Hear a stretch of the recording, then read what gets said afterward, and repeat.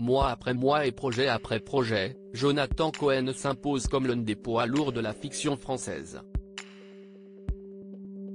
Interprète emblématique et hilarant de Serge le Mito, dans la mini-série du même nom sur Canal+, et de Marc de la Flamme, sur la même chaîne, l'acteur avait vu sa vie basculer en 2019. En effet, il était devenu papa d'une petite fille, née de son amour avec sa compagne, Piu Piu. En réalité, ça arrive à un moment de ma life où il y a la place pour. J'ai toujours eu envie d'être père.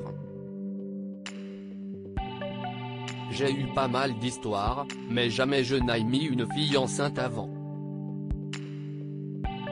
Je finissais par croire que j'étais pourri du sperme, expliquait-il, en janvier 2019, dans les colonnes de Society.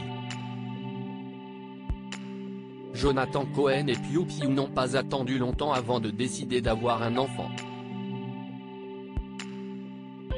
Il y a un an, je me suis mis avec ma meuf. Et on a tout de suite su qu'on voulait un enfant, révélait l'acteur. DJ, mannequin lingerie est très impliqué dans la libération de la parole féminine suivie par un peu plus de 16. 000 personnes sur son compte Instagram, Piu Piu, Roulieta de son vrai nom, est une féministe accomplie.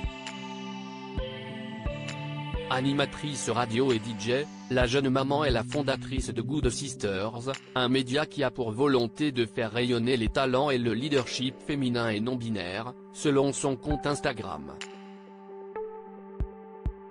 Elle est également à la tête d'un podcast, Safe Place, qui donne la parole aux femmes.